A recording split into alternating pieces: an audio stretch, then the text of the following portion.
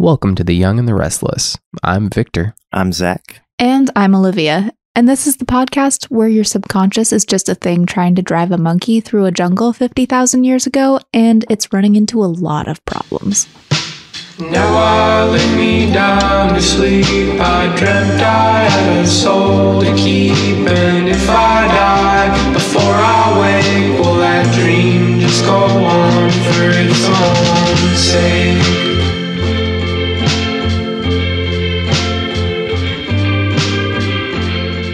Hey, Zach, guess what? My man, the myth, the legend, the enigma, this guy. Who's that? Victor? with the sweet and simple sleep had Oh, a you dream. have a dream? I had a Oh, dream. sweet.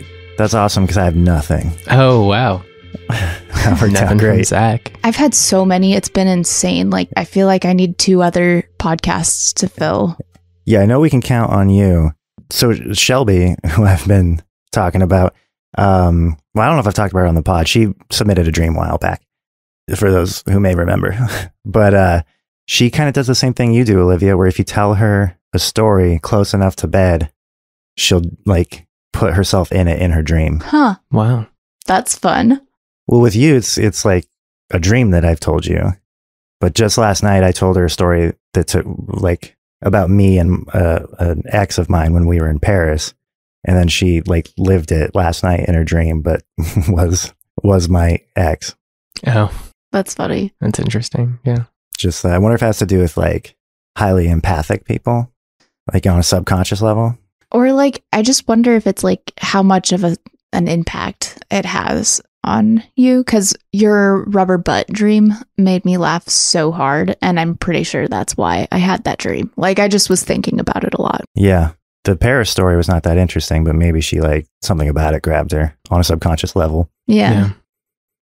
Anyway, I'm going to crack a beer and tell you my dream. unconscious human personality. Something like a nightmare. Nightmare. Not only can it be I've never had a dream.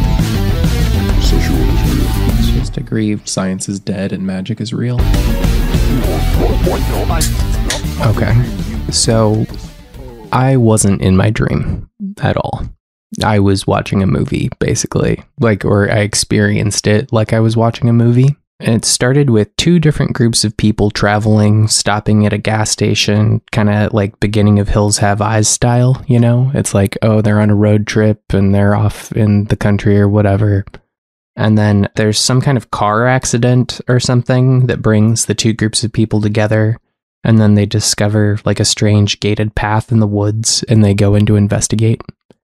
And once they've gone in, they find themselves trapped and are encountering like puzzles to continue. It's like they're on like a dirt path or whatever, and there's like fencing around and like barb they like can't get out. And they're trying to proceed down this path, and there's like little puzzles they have to solve.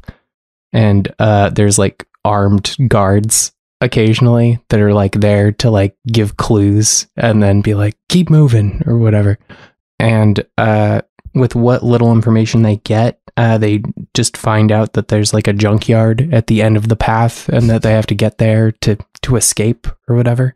And and then there's some kind of like kerfuffle or whatever and someone passes out and they end up sleeping overnight in an abandoned building that's like part of the whole thing.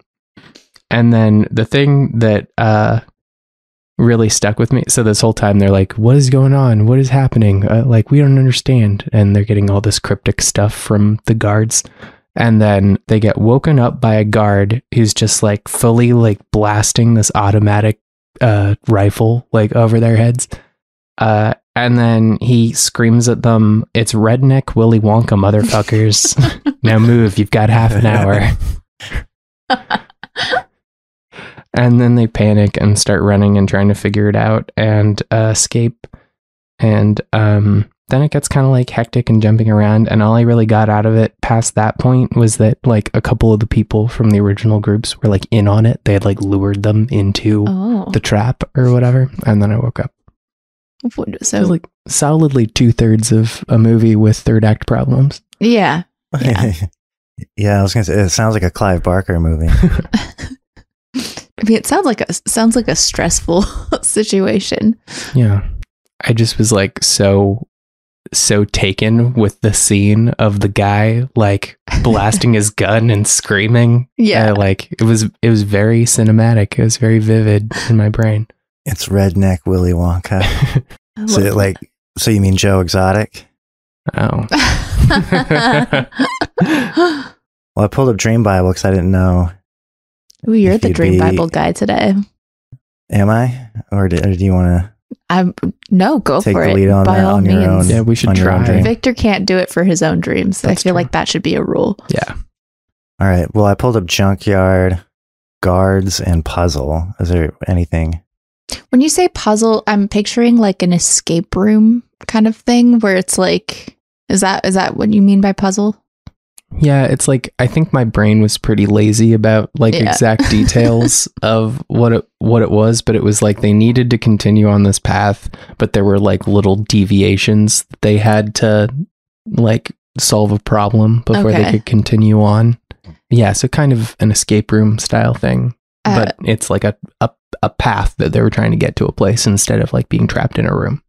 So, like, I would say one of your defining qualities, like something I say about you all the time, is that you're a puzzle guy. Hmm.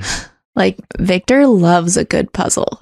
And most Problem things solver. are a puzzle if you look at it the right way. Yeah, like you've got a puzzle solving brain. So it makes sense that you would put that in your dream. And you've been like kind of focused on puzzle stuff lately too. Yeah, I've been like in a in a problem solving kind of place, I guess. What's funny is I don't, I don't really think of myself as like a, a puzzle person, but like I see what you're saying. But uh, ironically, Yeah, I hate like a- riddles. They like I don't I don't hate them, but like I always get like performance anxiety from a riddle. Like I hear it and then my brain blanks because I'm like too I I get like test anxiety. It's Right. like I can't do a riddle. Yeah. I just feel like a riddle is like a not funny joke. Right. So whenever I whenever I hear a riddle, I'm like, "What is it?" Just tell me. Like, Yeah. But like, hear me out. You may not like solving riddles, but we just had a Halloween party a couple months ago or a month ago, and we designed this elaborate game for everybody who came there where they had to go on a scavenger hunt solving riddles to get to the next place to eventually find multiple lock combinations and keys to open a box that we hid under the deck. And you might not like solving riddles, but writing a riddle is a is a puzzle, right? Yeah, yeah, or like writing a poem or lyrics or whatever. Right. It's like, how do I construct this thing? That, You Oh, like didn't you say that designing you- the puzzle. didn't you say that you've worked on like several board game ideas over the years? I've been spending a lot of time on that lately. That's where my puzzle brain is right now. Because like, yeah, that's that's definitely a puzzle. When you say puzzle guy, that's kind of like what He's I a puzzle guy. I'm think yeah. of. yeah, that's So not even necessarily like strictly speaking, uh, like like all about problem solving, but like the craft of of, of puzzles. crafting problems for other people to solve. yeah. I mean, I like to I like to solve certain kinds of problems, like like making a board game. Right? It's like uh, I, I mean, I'm not good at it, but I I get interested in it because it's like trying to figure out how to get all these different moving pieces to work together and come together into something that's fun. Right? It's a challenge. See, so that's mostly where your puzzle brain is right now. Mm-hmm. Last couple There's of a- weeks. and also I feel like I don't know what this reminds me of is like with the designing the board games and with other puzzles that you've gotten sucked into working on is roadblocks, like a series of problems that you weren't expecting to run into that you Hmm. then have to work through to get to the next thing, right? Sure. Yeah. No, I see. I see what you're saying. Yeah. I mean, maybe I'm stretching to just make this apply to you, but like, that's what we do here That's the on the, Jung and the Restless. Um, And also on a macro level, because you you first thing you said is you weren't in this dream. right. You were so that would make sense that like if you've been thinking a lot about um, crafting puzzles for other people, or it's for you know for the craft of it, it kind of makes sense to see it from a third party, watching other Mhm. people go through a puzzle that your brain made, just like on a a a design of the dream kind of level, like not even getting into the minutia of what it means. And I, I think it's like i- i- important context is that me and Olivia watch like a ton of horror movies, it's true. and um, this very much felt like like a B movie, like a like a horror, like a bad horror movie that we would watch on any given night. And so it's like I think my Yeah, brain was trying to construct something that checked those boxes. Yeah, I was picturing the Hellraiser puzzle when Mm. You were telling the dream, which is why I, I said Clive Barker movie. Hmm. Not that that's a B movie, but but that's kind of like the mood I was picturing. But I think you are onto something, Olivia, with like um that like I get sucked into stuff where it's like you know there's an end goal, you chug along for a while, you hit a roadblock, you try and get past it, then you chug along for a while, hit another roadblock, try and get past it to some destination, right? Right. Um, and at the end, there's some guy with a machine gun screaming, It's redneck, Redneck. Willy Wonka, motherfuckers. Which- What did that guy look like? Do you remember? He kind of looked like uh one of the agents from uh The Matrix. Oh, okay. So suit and tie. Yeah. Dark glasses. Not at all like a redneck. No, It's just the fact that he had a gun, I guess. Yeah, I I don't I think it was that it was like out in the woods and they're like on this like uh like abandoned road running through abandoned buildings and then they're trying to get to this like burned out junkyard or whatever uh, like that yeah the story of Willy the the Willy Wonka story though is like these kids, this group of people that are on this tour, right? And they're encountering like different weird situations and slow they're getting slowly picked off by Oompa Loompas. yeah no i had that thought after i woke up i was putting that together i was like so i guess that means the armed guards are oompa loompas and that there's going to be like a guy at the junkyard. I, yeah, I don't know. Yeah, that's the thing with because I pulled up puzzles and guards, but they both mean exactly what you think they would. There's what no is a surprises. junkyard? I, I have that too. Yeah, it's not super long. Uh, to dream of a junkyard represents your focus or preoccupation with situations or ideas that nobody else cares about. Oh, okay. I know what this dream is about. In, you were so convinced that this was just a fun movie that you wrote in your sleep. Olivia's right. This you is actually figure it out? Well, I mean, this is clear. If that's what that means, then yeah, this is about my like my my like I get fixated on projects, right? So like the board game thing is a project, and I just like I get sucked into independent projects that no one else gives a shit about, but that I get obsessed with and kind of hang my self worth on.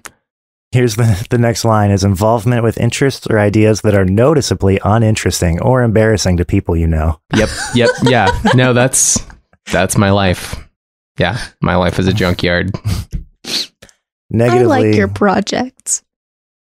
negatively, was it negative in the dream? Yeah. I mean, the junkyard was like a place they didn't want to end up, right? They wanted to end up there, but it was like it was like kind of like the final boss of a video game, kind of. Okay. So negatively, you may feel frustration, fear, or anger about being on your own, feeling unsupported or forced to do something unpopular. Alternatively, you may feel abandoned or neglected by friends, feeling isolated with something others don't want to be a part of. Hmm. That's interesting. Yeah, I, d- I don't know that that resonates, but I, I think like maybe souring on like hitting roadblocks or stuff getting derailed or whatever just kind of makes sense. It is kind of a solitary thing, though, that you're doing. And like th- that last line, what is it? Being frustrated with something that other people don't want to be involved with. It's not necessarily that other people don't want to be involved as much as it's like it's a it's an independent project and the people who will want to be involved in playing your game are going to have to wait until it's at a stage where it's playable. Yeah. Yeah, it's not that I um wish other people were involved in in projects I'm working on and no one's interested. It's very much like I seek out stuff that I can do without involving other people because I very much like to just like work on something without without having to worry about the social aspect of anything, you know. In the same way musically, right? Like I don't I don't know about you, Zach. Um, are you like a band person or do you prefer to like write and record independently? Uh, well, mm, I guess it depends on the band. Hmm. Um, I think I, in my in an ideal world, I would prefer to be in a band. Although waiting around to do like something like like if you're you have parts written and you're ready to practice and you're ready to record and you're waiting on other people um to like get on the page about what night we're meeting Right. it's like that that's a little frustrating but the end result because I, I have a hard time like booking shows for myself i just don't have like the networking skills or the like go-getterness to like be performing on my own every night totally. and so when I've had a, a band mate like who's really good at that shit and like able to book our shows all the time and I, I can just show up and play, that's the fucking best. But that's, I mean, f- finding a, a good, like a band that's the right fit is like finding a, you know, five significant others that, that are all like your soulmate. Yeah. For sure. But also feel like one word in that junkyard entry was embarrassed. I mean, it was specifically referring to like involvement with interests or, ide- or ideas that are noticeably uninteresting or embarrassing to people you know. Yeah, I, d- I don't want to get into the details, but yes, I like I've gotten sucked into projects that are like embarrassing to talk about, uh, or like board games are kind of like that. I don't know. I feel like a, I feel like kind of an asshole to be like, oh yeah, I'm working on a board game, and you know, like I'm I'm an adult man talking to adult people that have jobs, and I feel like I sound like a Yeah. twelve year old. You know? There's a real culture around that though. But like I I feel like it's hard cuz that's the case with almost anything creative. That's just like a part of having creative activities. Like I have felt that way about talking to people about this podcast. Like when That's what I was actually going to, that's where I was going with this. that's Hmm. like the main thing that I've like that really resonated with me is like when people I- I- I'll say like, oh yeah, we're about to launch our podcast, or like we're working on a podcast, but like, like- oh yeah, what's it about? And it's like dream interpretation. But I like always Yeah. have this hesitation to like tell them that because it sounds silly, you know, and it's not really about that. Like it's it's about other stuff, but Yeah, but you, that's always how it feels to talk about your music, and people are like, "What kind?" And you're like, "Oh, you know that genre that a million people have done." Mm-hmm. You know, that, that I felt first fell in love with when I was 15, and it's like in podcasts, like everyone and their mother has one, so it's like, I think, yeah, there's like it's inherently embarrassing to talk about art of any kind Yeah. to anybody. I feel that. or like trying anything. Yes. Like anything. Like I feel like so like the most valuable thing I've learned like growing up or whatever is like oh everybody's just a person nobody's nobody knows what they're doing and that's really freeing of like oh there's no reason that I can't do whatever interests me right I can like follow any I'm I'm not like blocked out of being a musician or being a creator or a business owner or whatever, right? Like I'm as capable as any other person. Um, and that is really valuable. And I like, I love that. I love feeling like, oh yeah, I can do things. Uh, like it's empowering. But uh, then when you actually do start working on something, if it's anything short of like a huge success, like it always feels like anyone you're trying to talk to about it thinks you're delusional or whatever, or like, you know, I don't know. Yeah, especially if you're not making money on it. I feel like there's a certain time in your like late tw- 20s or early 30s where it starts to feel like everyone around you is only working on either their jobs or like an entrepreneurial thing. And it's like it's it needs to be currently making money. Like it needs to it's not like a thing that oh maybe one day we'll make money. It needs to be like if it's not Right. making money today, you're wasting your time.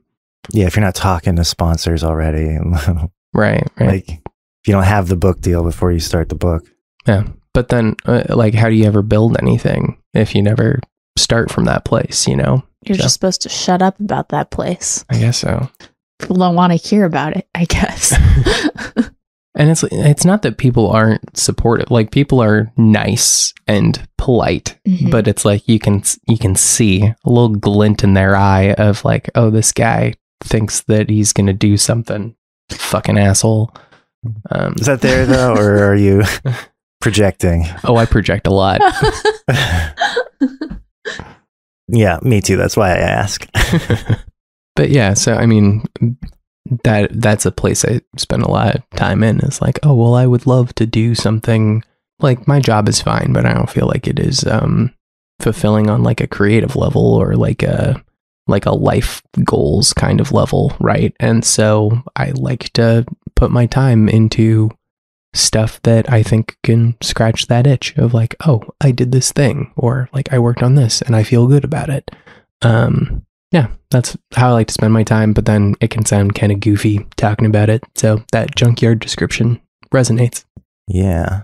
What were guards and But- puzzles? I feel like you said they were self-explanatory, but Yeah. They're kind of like, they, I, I mean, I feel like they have like inherent symbolism that is pretty straightforward in the, but I pulled them up because I was expecting Dream Bible to be off the wall about it. But to dream of jigsaw puzzles represents a multifaceted challenge or problem that you need to solve in your waking life. Trace trying your hardest to slowly get something to work or make sense. So puzzle means a puzzle. gotcha. Although to dream that pieces are missing in the puzzle may reflect a waking life situation where you don't have all the facts needed to make an informed decision. Hmm. Feeling that something doesn't make sense yet or that you are missing something, waiting for an answer that makes sense. That sounds like a jigsaw puzzle though, and that wasn't really. Yeah. But I wonder if you can apply it. To dream of a guard represents you or someone else that is cautious or wary of something, a cautious attitude toward change or interference, an, un- an inability to get through to someone, or an unwillingness to open up to others, an emotional guard or barrier. Negatively, a guard may also reflect feelings about something in your life, keeping you out or keeping you away from something, feeling that something is too exclusive or special for you feeling that you need to meet certain conditions before being allowed to do something. It may also reflect a sense of danger you feel stepping over a line in a relationship or a situation. Did any of that like Yeah. Um puzzle didn't really resonate. I, some of the guard stuff felt yeah, connected to what we'd already talked about of like um feeling like uh oh, I have no business, you know, working on the stuff I'm working on or like concern about roadblocks I'm going to run into or something like that or be those like um, you know, people or um like technical barriers or financial barriers or whatever else. yeah, or emotional barrier? Right? Totally. So the guns entry is super long. Hmm. I mean, what were your feelings in the dream though as a, as a third like almost watching it like a movie? Yeah. Yeah, I felt Like like I none was of it was just watching- happening to you. Yeah, I felt very separate from everything that was happening. Is there um two questions? Anything on machine guns and anything on Willy Wonka? there's just a gun negatively guns negatively whoever you see in a dream holding a gun reflects a personality trait that is in control of powerful decision making that may have serious or dangerous consequences so if there's willy wonka we can tie that to him Hmm. you shoot something shooting a bad person shooting a good person to dream of being shot bad people with guns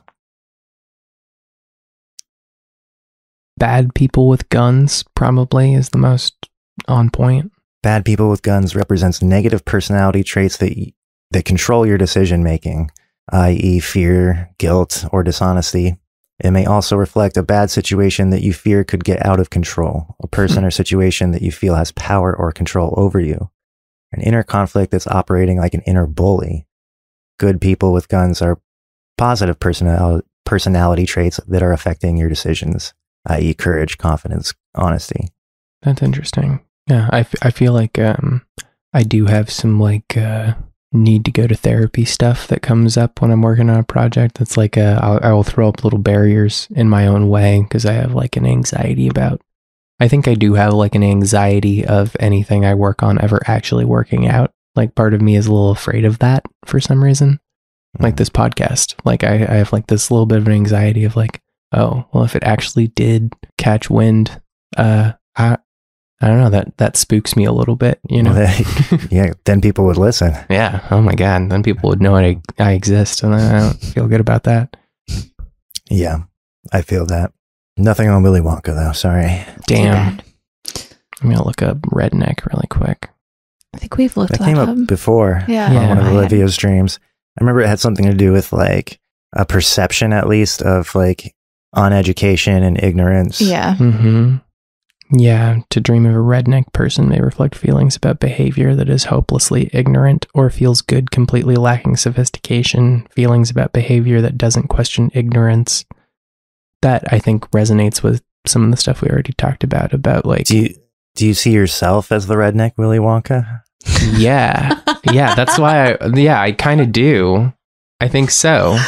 The way that I'm making like I'm I'm like in there trying to put Yeah. together like a janky board game, you know? Like I am and I'm trying I'm like asking people like can you sit down and and try this thing that I made, you know? It feels like Come very tour my factory. Try my chocolates. Yeah, it's like I um I I'm not doing it at a level that merits uh respect, you know? Well, that's the. I was just talking about this the other day with somebody. That's like the duality, like that juxtaposition of redneck and Willy Wonka makes me think of that duality that like every artist has of like self-aggrandization at the exact same time as self-hate. You know, like in your mind, you're like, this is my Willy Wonka magical wonderland, but also it sucks. it really is the artist's uh struggle right? Like you, mm-hmm. you talked about you were working on a script with somebody. It's like writing a script is very much like that. Like you have to do it if you ever want to do anything in that field or you want to be someone that is a screenwriter right? But writing a script it's like people are going to roll their eyes at you. People are going to be like oh another one of these people and then make all of these assumptions about you you know? Yeah. That's yeah. The wanting to get out of the house and write at a coffee shop, but knowing you cannot let anyone look over your shoulder at the Yeah. screenplay format Especially not in LA. is right no, especially not uh, intelligentsia. yeah That's our pretentious coffee shop Oh. coffee shop chain. oh my God. but there's no way around it right like the the solution is to like like to just have no aspirations right? I don't feel like that's a worthwhile place to end up either right? No, yeah. So you kind of have to just live with okay i know that people are probably rolling their eyes at me doing the thing but it's what i want to do. It makes me happy so i'm gonna keep doing it. Yeah, I found myself really lately because of what we were talking about with the like feeling like you have to at a certain age, especially when you're still broke like me, you feel like everything has to be monetizable. Otherwise, you're spending time on something when you should be working towards stability. right Um, but there are certain art forms that I keep to myself purely as like, there are ones that I do hope to make money off of, and even ones that I, I kind of am a little bit like um, podcasting and uh, like, especially editing and stuff, the freelance work that I do. Yeah. And then there are ones that I hope to make money off of, or at least gain recognition from, like music. yeah. And then there are ones that I don't give a fuck if I even get better. Mm. I just, Yeah. it's just relaxing, like drawing. That's how I feel about drawing. Yeah. Yeah. I feel Yeah. I really resonate with that. And and like I will take on new hobbies in that lowest rank uh often. Like I'll be like, I'm gonna start knitting and like I'll knit hats and like I'll wear the hats I knit, but I'm not trying to do anything with it. It's just a thing I like to do. Like Yeah. I've been trying, like, intentionally trying to spend more time with those yeah. as a as a form of like in, enjoying time. Mhm. The pressure's off. I have like a real productivity addiction, and uh, that's that's the th- that's a thing that I struggle with. Like I I I crave a thing like that where I can just like not worry about anyone ever seeing it or it ever being productive at all. Like just doing a thing for me uh, that uh, I also don't have any like aspirations around, and it's like I I I I want to be the kind of person that can do those things, but whenever I try, I just like I I I get sucked into How can I market something this? else. yeah, I'll get sucked into that, or I'll get sucked into like like the craft of it. exact or like wanting to be good at it. You know, like wanting Yeah, to be yeah. like really good at it. That's what I catch myself doing that with drawing all the time. I'll be like, you know, drawing a figure and then find myself being like, it's not what a hand looks like, you asshole. And it's like, well, I wouldn't be talking to myself like this if I were like relaxing in the tub, having a bath. It's like, but that's what this is supposed to be right now. Hmm. right. I'm just drawing. We tried whittling recently. We did. Olivia cut the shit out of herself. but it was relaxing up to that point. You were enjoying it. Yeah, up until And- the point I thought I had to take you to the hospital, everything was really It's a lot of blood. That's so you got to the point where like this doesn't look like a chipmunk, and you stabbed yourself out of frustration. so, what Um, did we crack your dream? You think?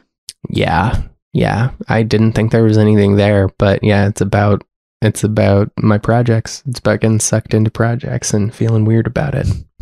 Yeah, Mhm. that was one of the first things Olivia said to me when she met me. Was like, "I think you have a productivity hang up." and now, yeah, I know where she learned to recognize it. oh, it wasn't from Victor. Was was it from you? Probably. But really, my dad's like the OG productivity hang up guy. Yeah, so that's not going to trickle down to you in any way. Yeah, we'll see, I guess. Yeah, like uh, that dream is about how I feel talking about this right now, which is like I'm a, I'm I'm kind of embarrassed even getting into the fact that I like that you're embarrassed. th- that I have like projects I like to work on that I'm like, oh yeah, I've spent the last couple weeks like getting really sucked into trying to design a board game, you know? Like that's embarrassing. I don't know why it's embarrassing, but it is. It's like, oh, I should just be like plodding along with my day job dutifully doing that. Even though without I the- have like so many friends, I get invited to so many board game nights. It's like definitely a whole thing. Hmm. Yes, it's not that's just our relegated jam. to kids at all. Yeah. But but yeah, not none of those friends are making one. So So that's pretty nerdy. Yeah, I understand what you're saying. Yeah. saying. Fucking dweeb. But the, when you yeah when you said you didn't even want to get into like the details, I didn't know if you meant like you didn't want to get into like the genre of the board game or like because I was like no you don't need to tell us what each dice roll means, but like I don't, I don't know how much you were obfuscating obfuscating there out of like embarrassment. uh, That's not don't me trying to get you. Let, me, let me run inside and grab my spreadsheets. I'll send them over to this computer and start going through uh, item descriptions on the pod. Just put them up in the drive so we can post them to Instagram. There you go. so does that answer your question? My, que- I don't think I really had a question. All right. Well, we cracked it. I'm a nerd. Uh, let's move on. But no, I think it's. I mean, we can move on. But I also, I don't think like board game design is any nerdier than like any other puzzle per se. Because like, like you said, like when it, you really break down what making music is, or any other writing, eh, like anything, it, it is all little puzzles. yeah. Um, And, and like the more like, go ahead. No, no, you go ahead. I was just saying, the more of those you pick up, the more things you get into and start to learn the craft of, the more you realize there, there's over, overlap in that like fundamental pu- uh, puzzle making Mhm. aspect of everything. we were just talking about that. We were over like working on, uh, like we were working on ranch stuff. Oh yeah, we- we were fixing a hot wire fence. Right. But we were doing we were doing like some outdoorsy stuff and we were walking back and Olivia was like, I I didn't realize how like puzzle like this kind of work is, you know? And Mhm. yeah, that there's kind of puzzles in everything. Once you understand what you're doing, Yeah. once you understand what you're working on. Yeah, what your goal is, what your limitations are, what the challenge is. Everything's kind of a puzzle if you look at it that way. And like even the things that you dread doing, like I don't know, like it's when you have that framework, it can be enjoyable when you're looking at it as a puzzle to solve. Any number of little things can be a puzzle. And I think when you look at them that way, they can be fun. Yeah, I was gonna say, I wonder how much of like your embarrassment is like, because I, have this type of embarrassment that has to do with like, yeah, like you said, like this fucking guy, like worried about coming off as arrogant, like you're just gonna like, Mhm. like you've already gotten, you know, a certain number of people to hear your music and think of you as like a great songwriter and a great lyricist, and maybe you're afraid that like they're gonna be like, oh, so you're making games now? Like how many how many things do you want to uh, have? But but it is like there's so many. Like if if you become really good at one thing, like when Nick and I were working on our script, we I found myself constantly referencing music because he'd be like, "What's the point of this scene?" And I'd be like, "Oh, dude, well, this is like the bridge. Mm. Like we, it, it's kind of a mood piece that gets us from Act Two to Act Three, and you know maybe we scrapped that scene because it didn't actually work like music in that case. But I think just the yeah the foundations of one kind of lends itself to being able to like get into another. Yeah. No, that makes a lot of sense to me. Yeah. And songwriting really is like, it can be, Er, depending on the kind of songwriting you're doing, it can feel like puzzle solving. You know, like I get really into writing lyrics, and that very much feels like you've created Poetry. a puzzle that you're then solving, right? And like, Yes. Yeah, especially if you get really into like the meter and like like words have to be pronounced to, like naturally to flow correctly, and so you find yourself cracking open a thesaurus and right. looking at the, the etymology of words to make sure you're using them right. It, it, it does become very English lit. Yeah, because where people get stopped there, I think, is like they're looking at a blank page and they don't know where to start, right? But like very much a big part of the process is giving yourself a task, you know? Yeah. And it's like once you've Mhm. narrowed it down to a task, then you're just trying to accomplish that task. It's not about working with like open infinite potential, right? It's like you've narrowed it down to uh, Yeah. a goal, you know? Yeah, limitations are huge. Yeah. And if there aren't like like with some of the most like creative times in my life have been in film school when I had like yeah. A when I was making a short yeah, and Yeah. well and like a hundred bucks to your name. Yeah. Ideas for those assignments come from like, well, what can I actually do? Like I know two good actors. Right. I have access to this place. Yeah.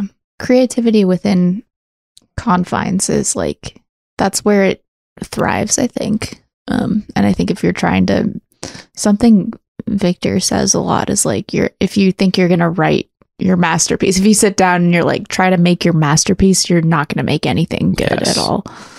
Yeah, that's like one of the biggest traps is like sitting down, like, okay, I'm gonna write the best song I ever wrote. I'm gonna write the best script I ever wrote. I'm gonna I'm gonna do something that's gonna be amazing blow everybody's mind. You're never you're not gonna write anything. Or you're gonna write something shitty.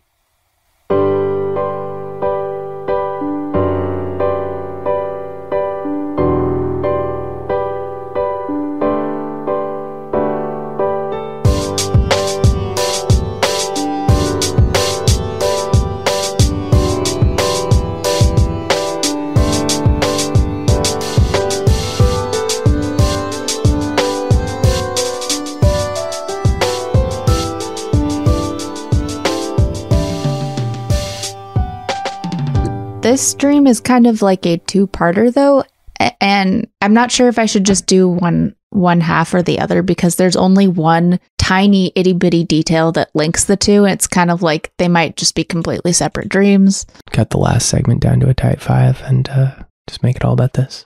Victor, you got so uncomfortable when you realized your dream was actually about you. I don't like when it means something. I don't like that. We put ourselves in the hot seat. You got to take a turn every now and then. You can't be the fun dream Bible guy all the time. I don't, I'm not comfortable with the whole premise of this podcast. I think our subconsciouses should be shut off. It's been a year. you like had the same position in that dream as you do on this podcast as like the the narrator. Hmm. yeah. So you thought maybe it would just be like not about you. Yeah, I was hoping. But that's part of the fun though, is is listening to somebody else read the dream Bible and then being like, oh shit. Yeah. No, like when, it when is something fun. when something hits. yeah. Fuck anyone who judges you for being embarrassed about your little games. about your adorable little game. um, okay, so it started off at a school, and then suddenly we had to go through airport security in the school. Um, and it was really crowded and chaotic. I'm waiting in a line, and I see that there's escalators that are malfunctioning, and the people who are on them, the stairs are like collapsing, and the people are falling down the eleva- escalators. And I'm with like a family friend, and suddenly somebody steals my laptop and they run up this flight of stairs and I start to follow them the direction that they go but the friend grabs my wrist and takes me a short like to a shortcut. And up the stairs where the guy ran there's a security office. And so we like catch the guy. He I think he kind of attacked me and like at, at a point but they, there were security guards there and they really quickly got him and handcuffed him. Um and like I was looking for the laptop and found it. And then we're in this room where there is what looks like a robotic owl playing a VR game. So there's this little robot owl that has put a little VR headset on and it's flying around playing a VR game. Cute. It was kind of cute, yeah. And I, but I said something like that looks like a waste because it's a robot and like you've got this like it's just using this thing like that is for people to use for fun, I guess. And It is. what's the point of it is is what I was insinuating, I guess. And the family friend of mine was like, "Yeah, you're right." And he takes a gun and like grabs the owl. Oh yeah, the gun was also sort of like hooked into a Steadicam rig, so it was like this complicated situation where he's holding this like like a Movi rig and trying to shoot the owl which is flying around um playing a VR game. And so he shoots the owl and uh suddenly the owl is not an owl but it's like a woman's head that had little robotic owl wings and there's blood everywhere. And the friend is disturbed. I think he said, "Oh shit, it's a Borg. It's a cyborg or something." So it was like a that was like a person, I guess, that we uh, that it was murdered now. So now we're cleaning up a murder, and there are three rugs, and they all have blood on them, and they're all white. There's all these people in the room now, and I'm trying to tell them that you need to dab it with cold, with a cold, damp towel. You need to dab it cold water. Don't scrub it. And they're all scrubbing these rugs, and I'm like, no.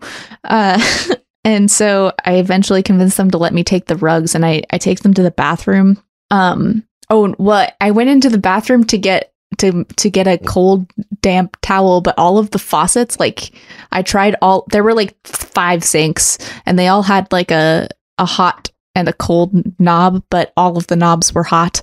Um and so i ended up taking the rugs and putting them in a bathtub and filling the bathtub with bleach. Um and seems like the blood came out of two of the rugs and then there was a third one that kind of looked like a sheepskin. That like it was like hairy. It was like furry. And the blood was not fully coming out of that one. I'm just going to take a breath here. That was part 1. Wow. Okay. So, th- but to like really condense, just wrap my head around it.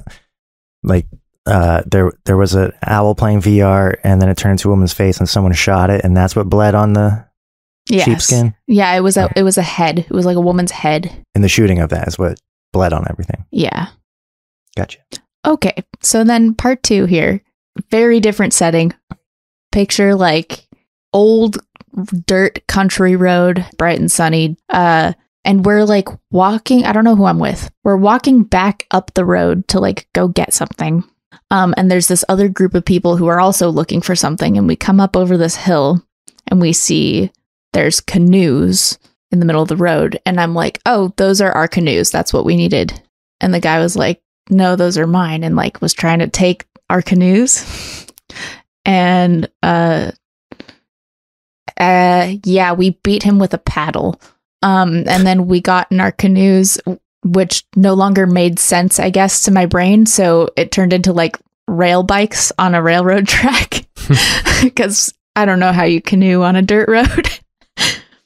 Okay, so we're like we're like pedaling these rail bikes and they're kind of like unicycles, honestly. They were very like wobbly and tall. Um then suddenly there's this trolley car full of people and it's like real clear that they are like a cult. Like they are wearing cult dresses, they are singing hymns and there's one old guy with a beard and everyone else is adult women and then there's like some children but no adult men Sounds like a cult. It was a cult. They're like kind of trying to cut us off on the rails. And then there's this other trolley car, and this guy is telling us, like, don't go with them. Don't go with them. And we're like, I don't think we're planning on it. Um, but they cut us off, and we're like, suddenly we're off the off of the bikes, and I see Victor going over to the trolley car full of the cult people. Um, Wait, what? From where? Was I the person with you up to this point? Mm, I guess. I don't know. I, this was the first time I saw you. You were suddenly there. Uh, I think you were. Yeah, I think there was something about us getting separated because I realized you had the dogs with you, Hmm. and I and Casper ran up to me and like greeted me, and I hadn't seen him in a minute. There was something about us getting separated, I guess. But when I looked down at Casper, I saw that sheepskin rug with the blood stain Hmm. just for like a split second and then it was normal. Uh, Then I didn't see it again. Were they draped over the dog or in the dog's mouth? Like it was his fur. Oh, And then we go up to the trolley car because I guess we're just getting in, and um, there's a woman with this like slop bucket of like looked like rotten meat and like hair. It was so gross. I it was very gross. She's gonna try and feed it to our dogs, and I was like s- was like, stop, please don't. They will have diarrhea. Um, and then she's like, oh okay, and we got on to the trolley car, which is now a boat. And the sorry, I'm so sorry. It's a lot. The cult leader guy is like, Welcome. I've been waiting for you for a thousand years. You guys specifically. And I'm like, great, great. And I don't know, suddenly we're in a group where there's like there's like seven of us or something. But me and Victor and like some other people. We like come on to the boat and they're all singing at us and like I'm checking out the space and I'm noticing there's ice cubes everywhere. There's like ice cubes on the floor. And I'm like, that's kind of weird. And then I come back to the cult leader guy and I was like, this is a beautiful home you have. There are ice cubes in my pocket. And he was like, yeah, they're in your bikini too. And I'm like, I'm not wearing a bikini. and um, it felt like creepy, like sexual and like weird. I did not like it. And there's this little boy next to him who's like, make her take off her bikini. And um, I can actually feel like I assume that they mean underwear at this point because I know that I'm not wearing a swimsuit. I don't know, and I'm I'm wearing a coat too. Like I'm fully clothed, um, but I can feel ice cubes in my clothes, and uh, I'm just gonna try and move past this. So I ask him like, where can me and my husband sleep? And he has this reaction like, oh, no, no, no, no, no. You won't be sleeping with your husband here. And I woke up. and Victor was gone. Liv, that happened. What are you talking about? That's all. That was like last weekend. That was our honeymoon. Yeah. You don't remember the Airbnb? Yeah, you I don't remember forget. Oh, we did have a weird Airbnb. Uh, so you have a heart out at five? yeah. Not really, but uh, No. You have become a silhouette, by the way. Should I go turn on the light? Um, do you want to see us, Zach? It's not of the utmost importance. Sometimes facial expressions help me understand social cues, but Lucky you. I'll turn on. the- fucking neurotypical. um. Okay. Should I read So- the cliff notes that I jotted down? yeah, because I, I gave mine after the first part and then I got wildly lost in the sauce. So just real quick, the connection is sheepskin rug with blood stains equals Casper's fur, and Casper is our dog, one of our dogs. For all the listeners out there, Different friendly ghost. school airport security, escalators malfunctioning and people falling off, stolen laptop, thief is handcuffed and la- laptop recovered. Then somehow we get to robotic owl playing VR, gun, which is also a steady cam, trying to shoot the owl.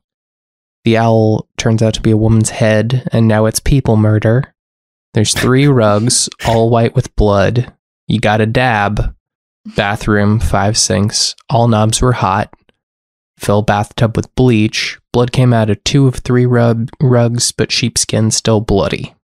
That's dream one. Yeah. Dream two. Old dirt country road, sunny.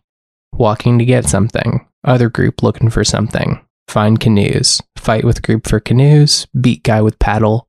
Got in canoes. Turned into rail bikes on rail track. Trolley cult. Woman and old guy. Victor goes over to trolley. I show up with dogs. Casper has bloody rug. In trolley, slop bucket of filth. Trolley now a boat. Cult leader, welcome. Been waiting for you a thousand years. Ice cubes everywhere. Hit on by cult guy. Little boy egging on sexual harassment. All right. Don't forget So that I- he said we weren't going to get to sleep in the same bed. And Also, I had this. Um, uh, I, I remember putting this together in the dream because I was seeing adult women, women of all ages, one man, and children who were boys and girls. right. But no, so like, I think they were going to kill you. yeah, that sounds right. Um, and that I you might be that might be what was in the slop bucket. Oh, the last Mm. guy. Yeah, Those men. yeah. This is an A24 it was film. really gross and it didn't look like normal meat. I think I saw like a s- like a head in there or and something. you, you put that together in the dream. You're Yeah. like, in, within the confines of the dream, you're like, Victor's in danger because he's the only. well, there were other people demographic in our group. I don't know who they were. Um, we were in a group though of like of like people, I guess. But in the dream, you're like, Victor and, and any man his age is in danger. Yeah, yeah. Um, so I figured it out. but I did, I noticed that dream one to me was about technology and dream two was about transportation. hmm. mm, yes. Maybe not about, but like No, yeah, those were like those, those, are some were pretty the persistent themes. Yeah, like for real. Like we were on foot, then there were canoes, then there were rail bikes, then trolley cars, then boat. Like that's crazy. And- that's a and in- crazy amount. And in dream one, there was a laptop, VR, steady cam, robotics. Yeah. Hmm. says technology and then transportation.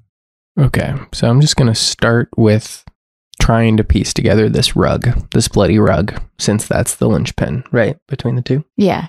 Okay, so I've got sheep and then carpet because they didn't have rug. To dream of sheep represents conformity. That may be a sign that you aren't thinking for yourself. It could also indicate that you are giving in to peer pressure or doing whatever you're told, governing others or being governed. Negatively, a sheep may reflect a fear of not doing what you're told. It may also reflect an arrogant abuse or exploitation of passive or docile people, abuse of governing powers.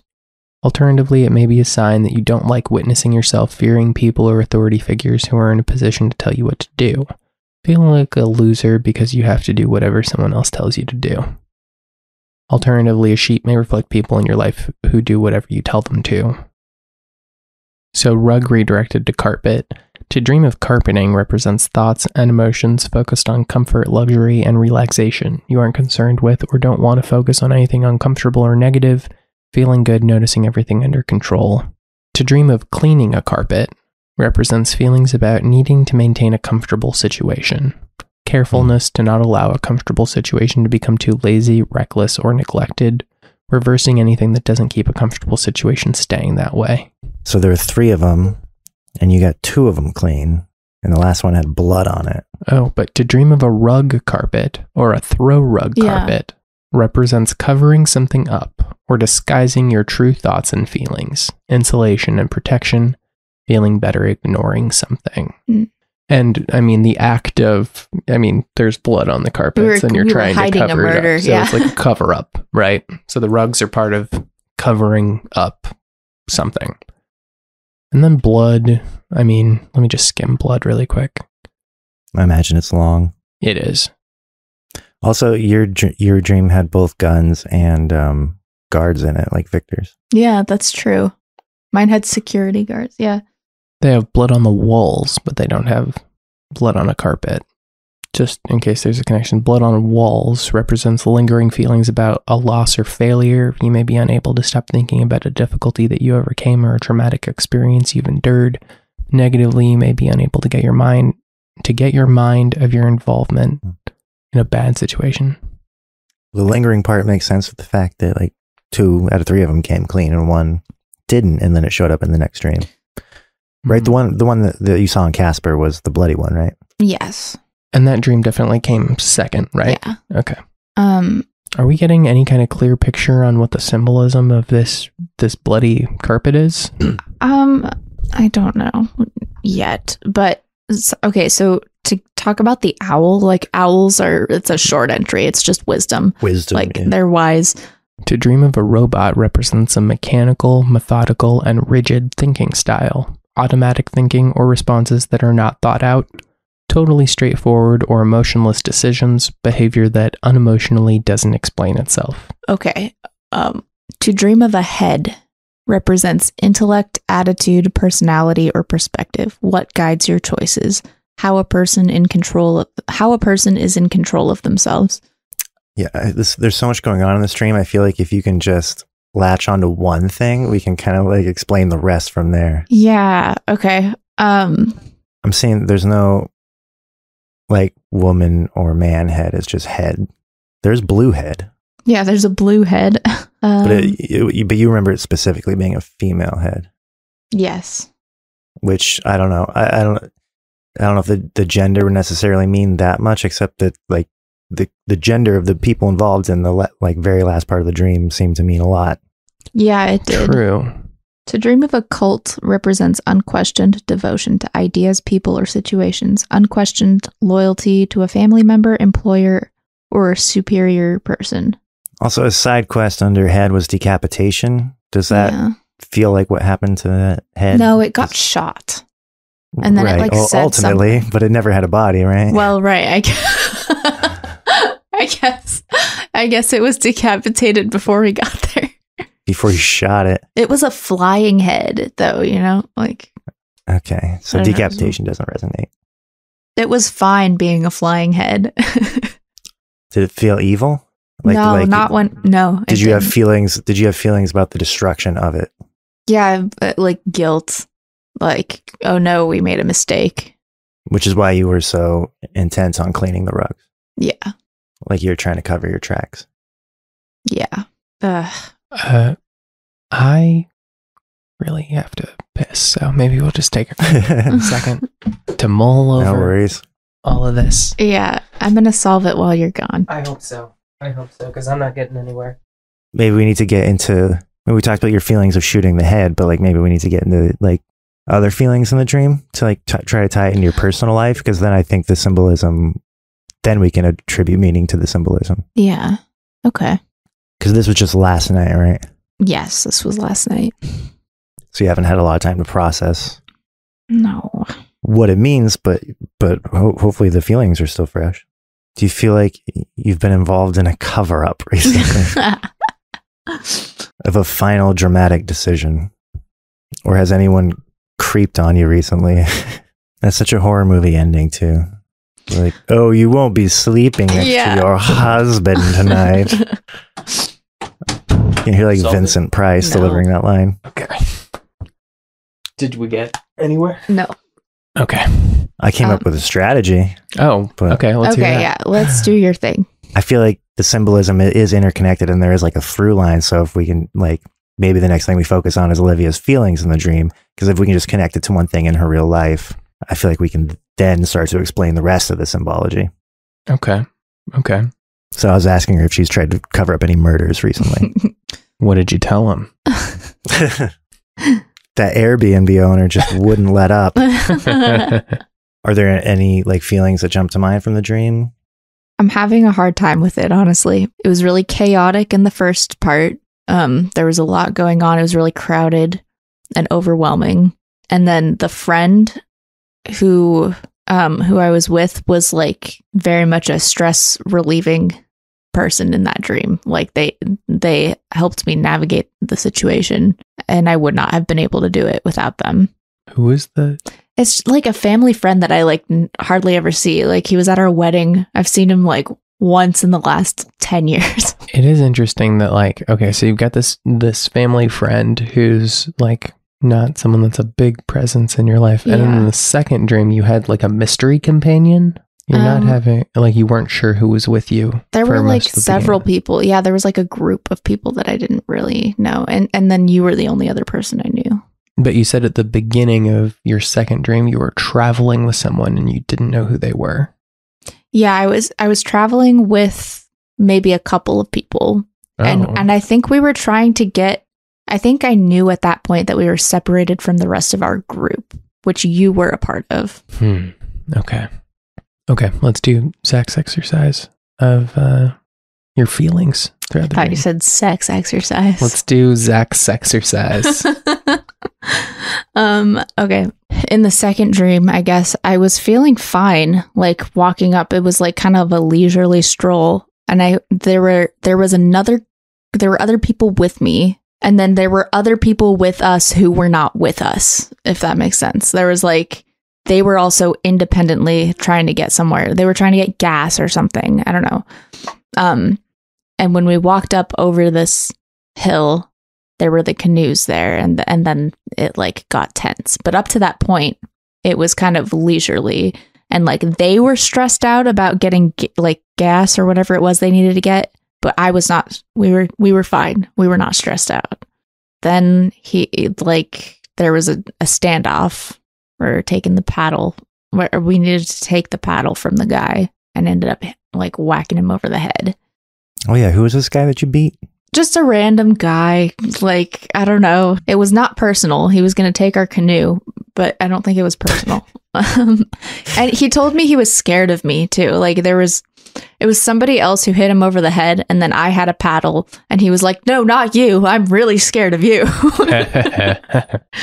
and like I felt um powerful That's where the jump to my mind. Sounds like you were not the vulnerable person in this dream. No, I did not feel threatened then. And then um What about when the, when the guy was creeping on you? I think that at any point the threats I felt were like to other people and that was the threat to me was other people being threatened. I was pretty sure that like like I could hold my own in that situation with the creepy guy, but I um was concerned that they were going to turn Victor into meat slop. And maybe I was concerned at, a certain point I think I was worried that like we'd gotten ourselves into a situ like a situation that we couldn't get out of. and that is how you felt at the end of the first dream, right? With the you're trying to cover up the murder Yeah. that this family friend committed. Yeah. So both dreams end with you not personally vulnerable, but feeling like someone is in trouble and, you I'm can't protect them. for them. And I'm trying to protect them. You're trying to protect them. You're responsible for their well being and you can't protect them. Yeah. Anything going on with your dogs in real life? They are always in my dreams that way though. Like I always have dreams where it's like, oh, the dog's like gotta protect the dog again. Do do do. Right. Um, and I've I've been talking to friends with that have similar like relationships with their pets and their dreams, oh, okay. or it's just always like a s- is the stove on kind of anxiety. Yeah. Yeah. So this might be random and not helpful, but there there seems to be some relationship with ice cubes and bikinis in the Dream Bible. Oh, really? Huh. Yeah, I was just looking. I'm just grasping at straws. No, let's And, uh, let's hear it. I noticed these two specific lines under. Uh, there's a bunch under Ice Cube, but or under yeah, ice, ice cubes. To dream of ice shaped like a cube may represent feelings about difficult, unresolved situations that you can't do much about. Um, uncertainty or negativity that is quote unquote frozen or intentionally unaddressed, issues left unconfronted or at a standstill. And then in bikini, to dream of a bikini represents you or some aspect of your personality that is totally focused on confronting uncertainty or a negative situation. The symbolism is based on water reflecting uncertainty or negative situations. The bikini then reflects your personality that is dealing with this. And they The they wanted me to take off my bikini. Because there was ice in it, right? yeah. was there like pervy excuse? Do you remember the uh, color? Of what? The bikini. I wasn't wearing one. But yes, okay. I do actually. what? Why did you come at me like All even a dumb question? Well, because it's stupid. It was a yellow polka dotted bikini.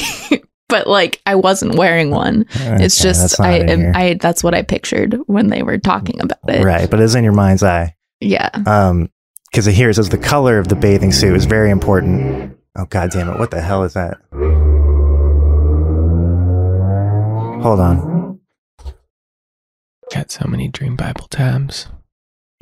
sounded like somebody was drilling into the wall right below me. Oh. Huh. Did Did you hear it? Sounded like a motorcycle. Yeah, it sounded like a motorcycle does.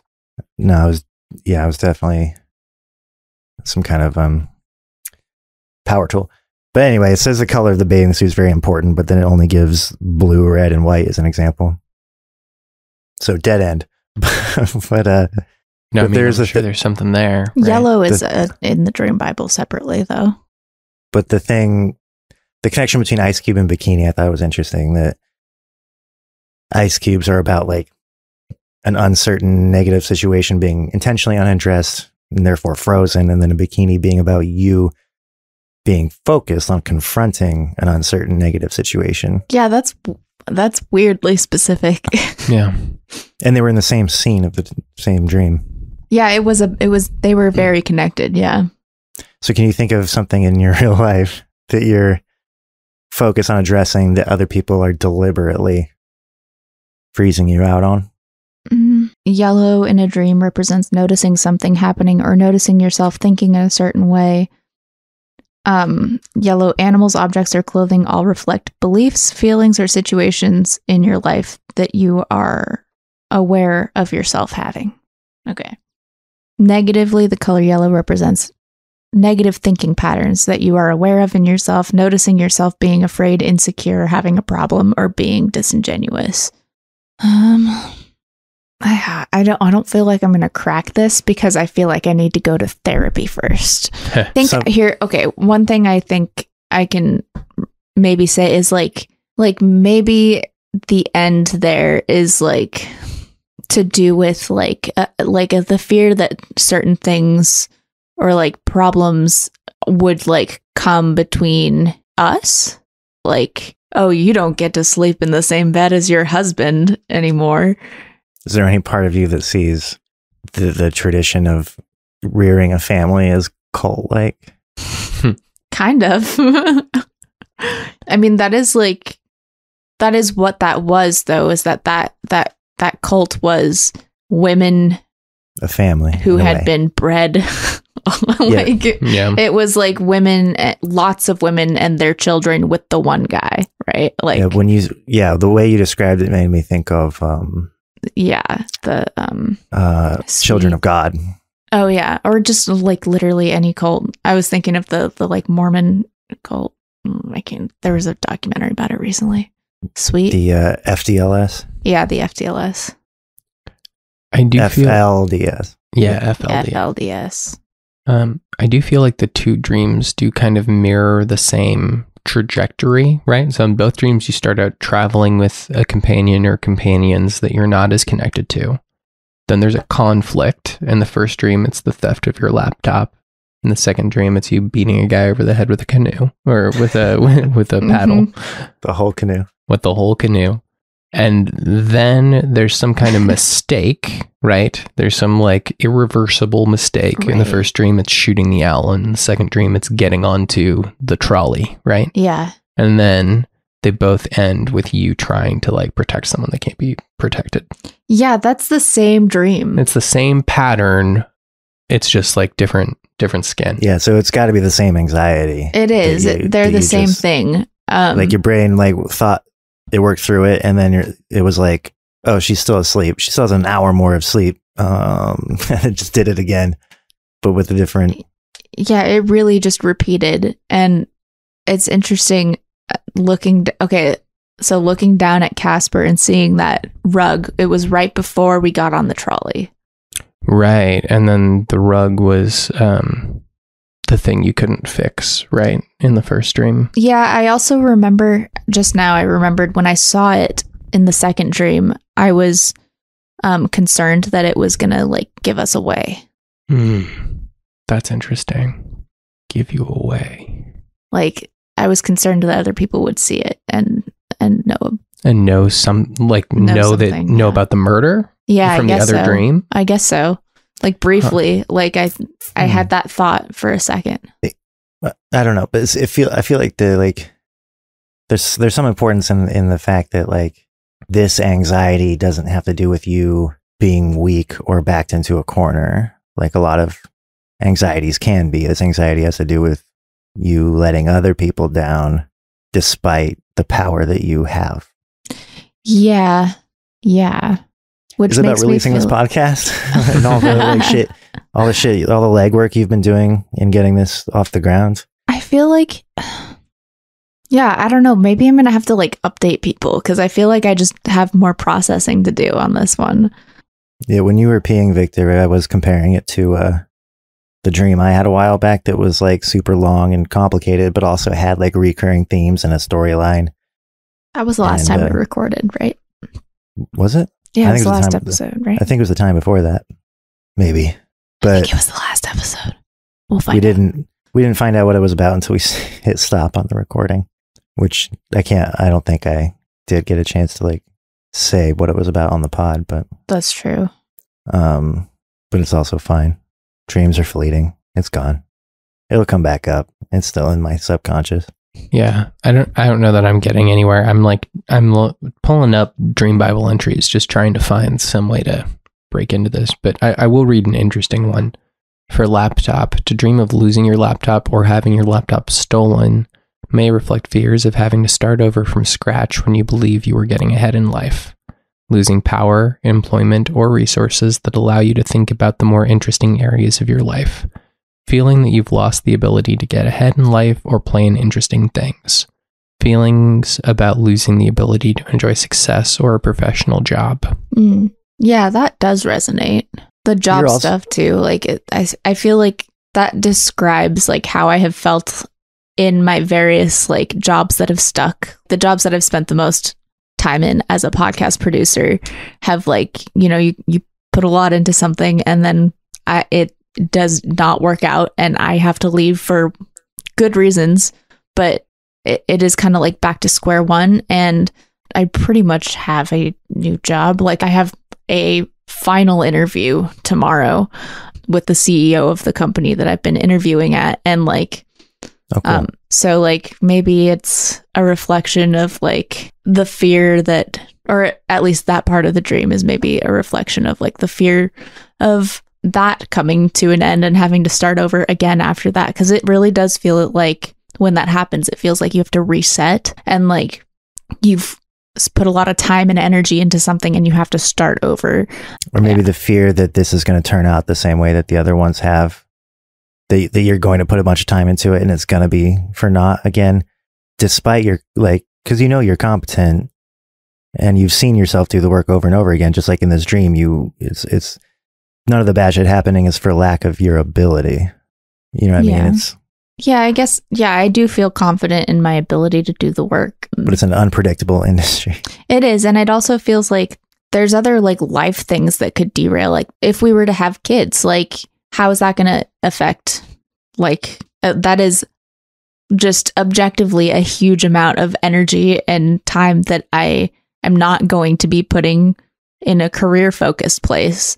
If we do that, that does change like how I'm going to approach how I'm going to think about my career, I guess. Um You were it's saying earlier you felt like there was um, this anxiety about something coming between us, yeah. and um, like a new job is kind of a transition, right? So there might be some some anxiety that just like the change, uh, like the change of our patterns and habits, um, might negatively affect our relationship. Like an anxiety of you starting a new job, that's a change. We're gonna have to change our daily patterns and everything. Worrying about like maybe conflict coming from that or something. Yeah. And then you have, um, like we've been talking about, like, do we want to have kids? Do we not want to have kids? What's that going to look like?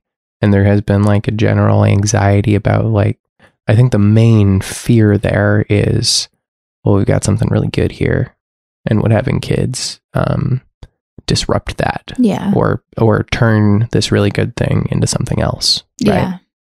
And so there might be that anxiety, and then also maybe to some degree this anxiety about, well, does getting a new job change things? Does like professional changes change things? Like all of these, maybe just like a fear that change will somehow undo what we've got going. Yeah. Yeah. Yeah, I think so.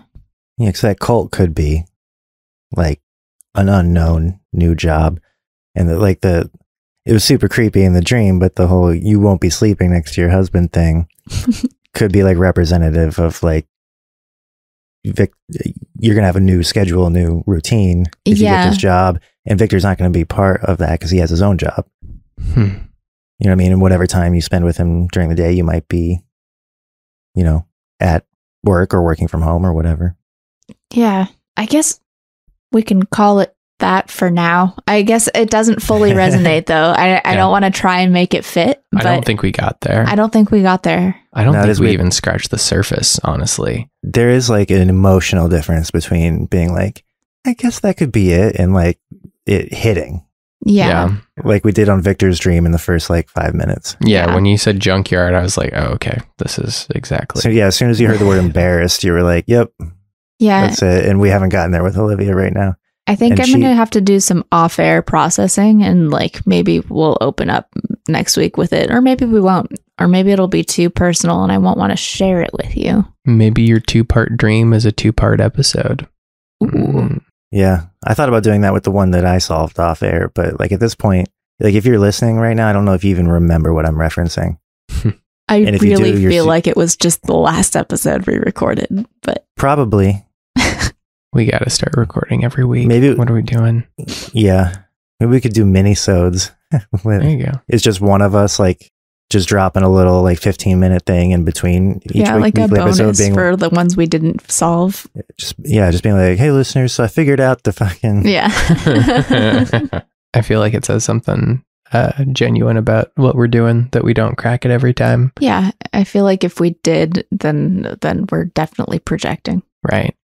Yeah, well, we're not making this shit up. We're not because it would be it's it's all it's literally in our heads, our dreams. So like we could ostensibly be making stuff up for content, but I think that would actually be like infinitely more work than just being honest about our dreams. Yeah, I think Right. it'd be hard to make it connect, especially if we're using Dream Bible, which I have a lot of faith in.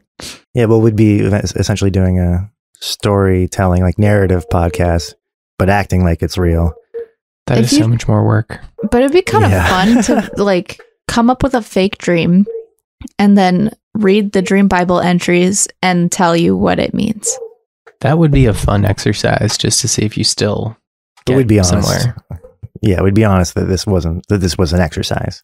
I wonder though if like the story you wrote would still reveal something about what's going on in your Yeah, subconscious, right? That'd be fucking crazy. Yeah. Yeah, thing, I feel like things are falling apart in my end. I don't know if you can hear this dog barking I can. and this this hammering down below. I just realized that somebody moved into the unit right below mine, and so that drill I heard, they're definitely like hanging shelves and shit. yeah, now. that's right. well, we should probably make sure the dogs haven't destroyed the house and Yeah. Thank you for listening to The Jung and the Restless. You can follow us on social media at The Jung and the Restless Pod and submit your dreams for interpretation to The Jung and the Restless Pod at Gmail. And as we always say, We, got, nothing done, but at least we had a terrible time. And